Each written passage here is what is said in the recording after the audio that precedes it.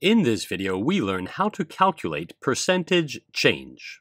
And we'll also see how to recognize when we're dealing with a percentage gain or a percentage loss.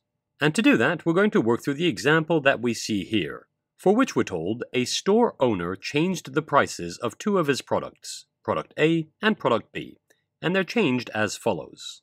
Product A changed price from $80 to $100, and product B changed price from $80 to $75. And we need to calculate the percentage change for each product and state whether it's a percentage gain or a percentage loss. Well, first of all, the good news is whether we're dealing with a percentage gain or a percentage loss, both of them are just percentage changes. And the formula for percentage change is the following. Let's see, I'll write it in the lower right-hand corner of the screen here. And I'll write percentage change, percentage change, is equal to the final value, which I'll just write capital F, capital V, minus the original value, which I'll write capital O, capital V, and all of that's written over the original value, which again is capital O, capital V. And in fact, I'll write that underneath here, capital F, capital V is the final value, and capital O, capital V is the original value, original value. There we go. Okay, now I'll go ahead and box that formula. Do make a note of this. This formula is the percentage change formula that we'll need to know. Indeed, with this, we can answer this question. And I'll do so by calculating the percentage change of the price of product A. And I'll just write that here. I'm dealing with product A, product A, and since product A changed its price from $80 to $100, that tells us that the $80 we have here is the original value or the original price, and the $100 would be the final value or final price.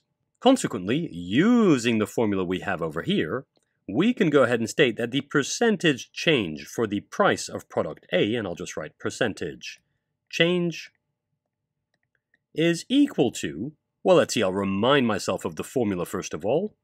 So that's final value minus original value divided by original value. And so that turns into 100, which is the final cost of the product, minus 80, which is the original cost, divided by 80. Now, if we're allowed to use a calculator, then we type all of this in and calculate this in one go. On the other hand, if we're not allowed to use a calculator, then we'd simplify this as much as possible. And I'll do both. I'll start with my calculator. With my calculator, I need to type 100 minus 80, so that's the numerator here, and I do so inside a pair of parentheses. So if I quickly type that, that's 100 minus 80 inside a pair of parentheses. I exit the pair of parentheses, and now I divide that by 80. And so I type divided by 80. And I'm happy with that, and I click on Enter and so I can see that 0.25. And so that's with a calculator. On the other hand, if we're not allowed to use a calculator, then I would start by calculating 100 minus 80, which would be 20, so that's 20 over 80. And now I'll seek to simplify this fraction as much as possible. And looking at this numerator and this denominator, we realize that 20 is a common factor to them both. And that tells us that we can rewrite this as 20 times 1 over 20 times 4. And so canceling out that common factor of 20, we're left with the percentage change which equals to 1 over 4, which is equal to 0.25, which is clearly the same answer as what we found with the calculator. And in fact, I'll quickly write percentage change here. Percentage, percentage change. Okay, now the final step is to write this decimal as a percentage. And for that, we focus on the hundredth position of this number. Remember, the 0 corresponds to the units, the 2 corresponds to the tenths, and the 5 we have here corresponds to the hundredths. So this 0.25 means 25 hundredths. And since percent is just another word for hundredths, this 0.25 is equal to 25%. And that's the percentage change. But remember, we were asked to specify whether we're dealing with a percentage gain or with a percentage loss.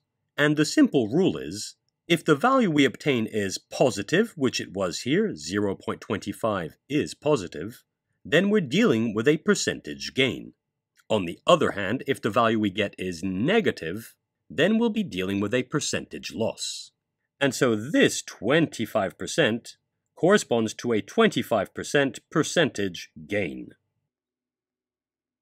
Now it's worth pointing out that when we calculate a percentage gain as we have here, what we're actually calculating is the percentage by which the original value has been increased.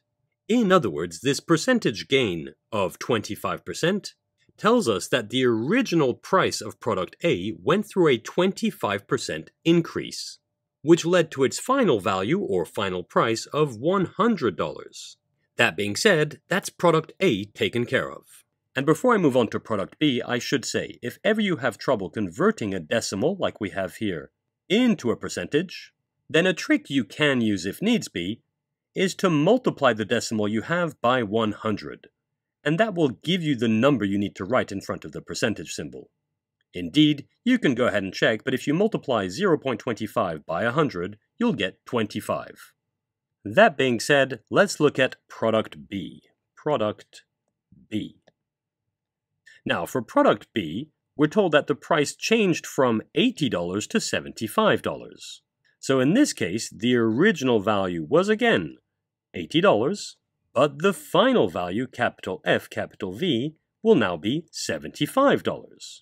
Consequently, the percentage change for this product's cost, and I'll just say percentage change, will again be equal to the final value minus the original value divided by the original value, and that will equal to 75 minus 80 over 80.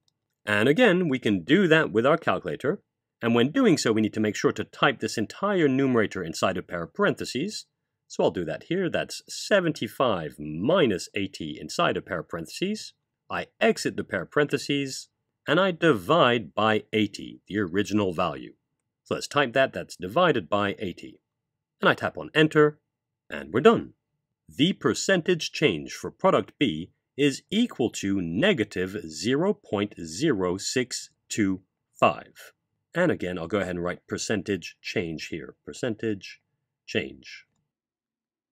Finally, we need to express this result as a percentage or as a percent, and for that we look at the hundredths position here. So we have the units, the tenths, and the hundredths. And since we have six hundredths here, this decimal is equal to negative 6.25%. And that's the percentage change. But now in this case, since we obtained a negative result, this percentage change corresponds to a percentage loss. And so I'll go ahead and write that. This percentage change is a percentage loss. And so putting this into context, the price of product B was decreased by 6.25%. On the other hand, the price of product A was increased by 25%. So a percentage gain corresponds to an increase in value, and a percentage loss corresponds to a decrease in value. And this formula is how we can calculate them. And there we go. That's it for this tutorial.